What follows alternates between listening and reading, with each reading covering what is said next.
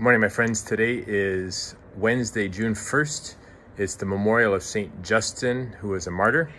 It's also uh, my 20th anniversary uh, of my priesthood ordination. And with that, I'd like to give a shout out to my brother priests who ordained with me. So Father Dennis Spees, Father John Klein, and Father Tree Tran.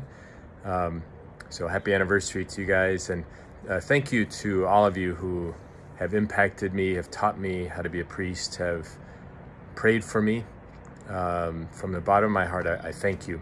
And I want you to know that if I could do my life all over again, I would be a priest again.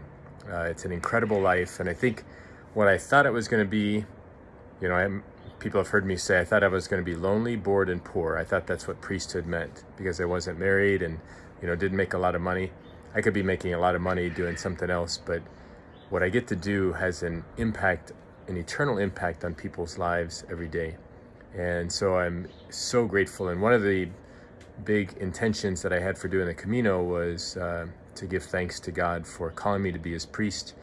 To my prayer is that I can grow in holiness every day and help you and as many people as I can to grow in holiness, that one day we can all experience the joys of eternal life with, with God in heaven. So thank you from the bottom of my heart for being a part of, of my priesthood. I wouldn't be the priest I am today without uh, your help, your support, your prayers, um, your admonishing, your teaching me how to be a priest. As I reflect on my own ordination, I think of Paul's farewell uh, to the people of Ephesus in the reading today. Think how difficult it must have been. He was there for three years, and uh, you know, through tears and through many hardships, he shared the gospel with these people. And it made me think of when I was leaving my first parish of St. Mary's in West Chicago. As I looked around the Mass, the closing Mass, I'm like, I, have I baptized them, I witnessed their marriage, I was with them when their loved one passed away. Um, and it was difficult to say goodbye after only four years. Um, I can imagine what it's like for priests who have been in parishes for 12 or, or more years. And this is the time of year, you know, I'll be uh, becoming pastor of St. Isaac Jogues in Hinsdale on July 1st. And a lot of our priests will be moving. And people ask, well, why do, why do they move priests? Well, it's based on the scriptures. You know, Jesus and his followers would go to a certain place for a while, and then they would move on and keep evangelizing. It's change is hard, but it's also good to have that kind of that kind of change. Um, what does Paul warn warn the people? So imagine the scene. You know, they're down by the dock.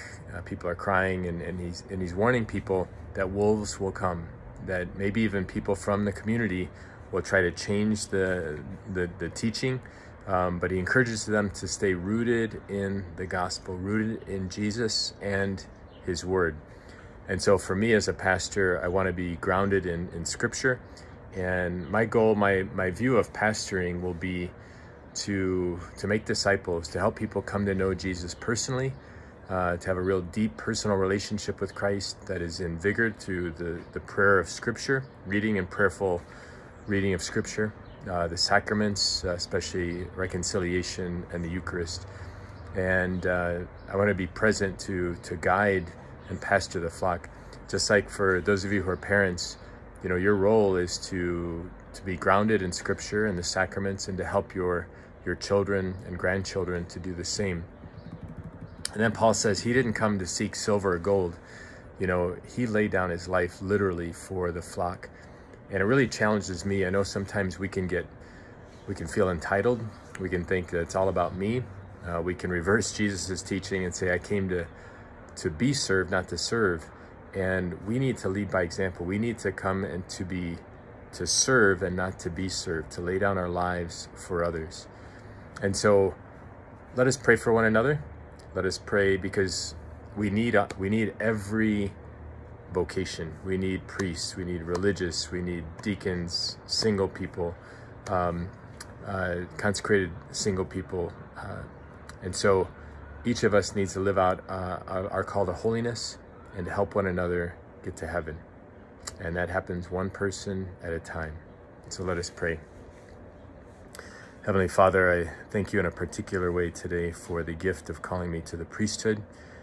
Help me to be a good and holy priest, to guide others to you, to lay aside my own desires and wants, and to always seek the good of others, especially their this, the salvation of souls. May Almighty God bless you, the Father, the Son, and the Holy Spirit. Amen. Have a blessed day, everyone. Please continue to like, subscribe, and share these videos with at least one person. And to you and to all your family, buen camino. Thank you again. God bless.